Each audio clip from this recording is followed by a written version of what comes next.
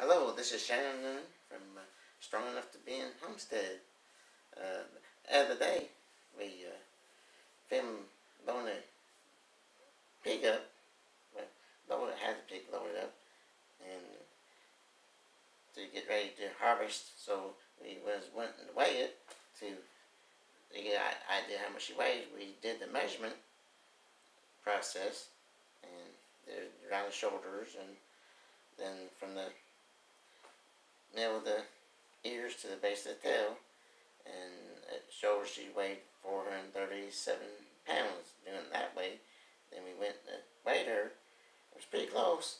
She weighed 430 pounds, so it's seven pounds difference. That's pretty, pretty close. And so we dispatched her and harvested her. We didn't film any of it, but in a couple days we are going to harvest another one. My parents wanting one, so we're going to harvest theirs. Probably do a little filming of it.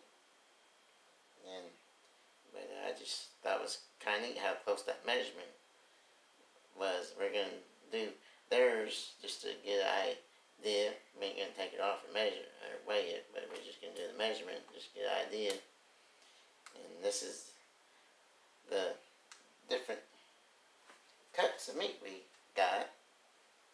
And like this here is the some of the soup meat, bone soup meat. We cut the bone soup meat. We is we cut the ribs, we cut the chest in half. And on a bigger pig like this, then we cut the ribs in half. Then we cut them up against the the spine all the way down. And then that spine part, there's still quite a bit of meat on it after you cut the back straps and the inner loins. And, and you just cut sections and you put it in a roaster pan. And you cook them up and you get the, the chunks of meat and stuff come off and you get soup meat out of it. Then a lot of people, and we do it too, do it, is cook the bones more and get bone broth, and you can can the the bone broth, and and as you cook different things, you can put it in there and give it more flavor to the food. With the the, the ribs. There's seven pounds of ribs. This is a four pack of ribs. And there's sometimes we do two packs, and, and then we got some of the pork chops because on on sometimes we go ahead and cut the spine in half and keep the back straps on there. Then we make the bone pork chops, but this time we just got the cut the back straps all the way down and just cut in sections like this and put two and a half pounds or five pounds and put two of them together and you have pork chops like that or have the whole section and cook it like that. And we uh, save the bacon meat. We're going to do it. Later, try curing it ourselves. We do, how we try to do video on it. And the freezer full. And uh, we keep the heart and we, then we cut the liver and the kidneys and put in the sausage meat which we didn't have time, but we got like 13 pounds. One part is 13 pounds of sausage meat. And here's the, like here's the shoulder. It's 15 pounds. Was more than that. We let be able to put in the smoker. We cut the, the hock off here and make it where fit and pretty good size shoulder.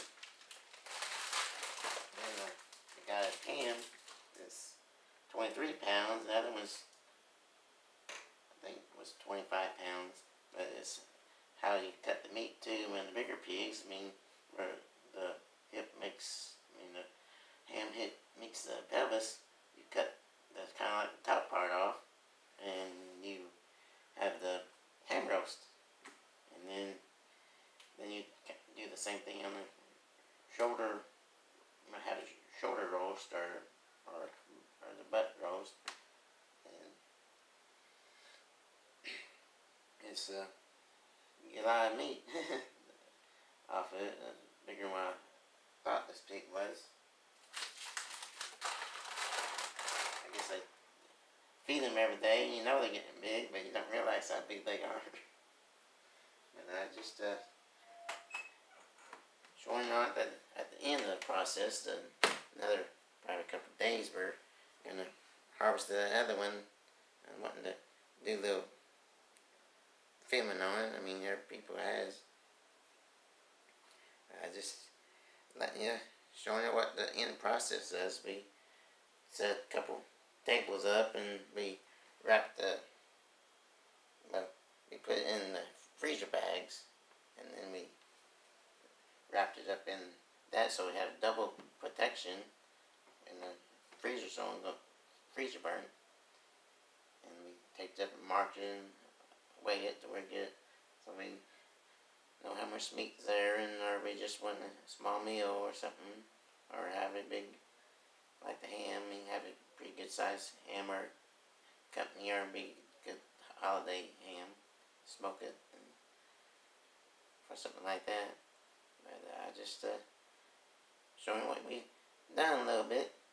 And uh, please subscribe to our channel and thank you. Bye